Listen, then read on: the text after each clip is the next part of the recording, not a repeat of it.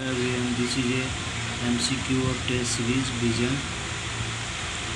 Arrange the following event in the chronological order: beginning of Sannyasi rebellion, Travancore rebellion led by Deccan Yugandhar, Hampi, Kittur uprising led by Shanama, Second Anglo-Sikh War. Select the correct answer using given below.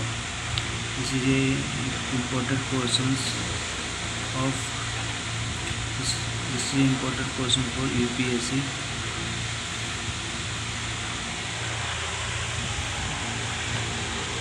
first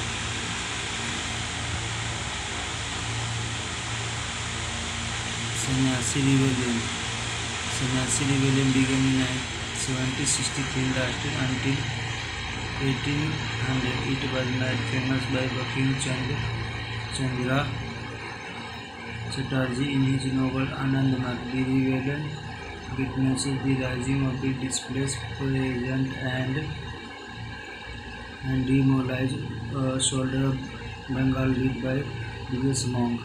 Travancore rebellion led by Devan Velu Thampi.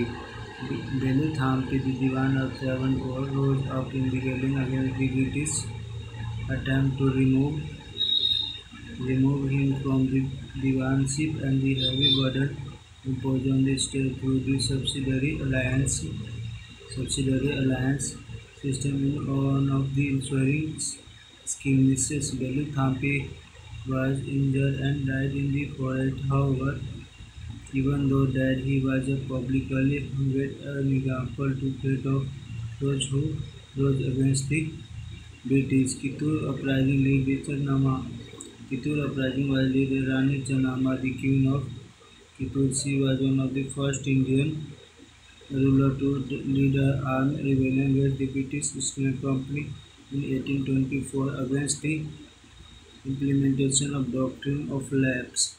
Second Anglo-Sikh War. The, the Second Anglo-Sikh War military conflict between Sikh Empire and the British East India Company that took place in 1848 and 1869. the result the fall of Sikh Empire and the annexation of Punjab and what subsequently became the northwest frontier province by the East India Company. This is a chronological order of the question. First is a Sanyasi, second is a Kevin Travancore Hampi, Kitur uprising, Sanama and second Anglo-Sikh war. The option is option is 1 2 3 and 4 thank you i hope this is a informative for you and this type of question is uh, coming in the previous examination so keep in mind and uh, and try to memorize on chronologically order for UPSC pre-examination in the medieval history. Thank you.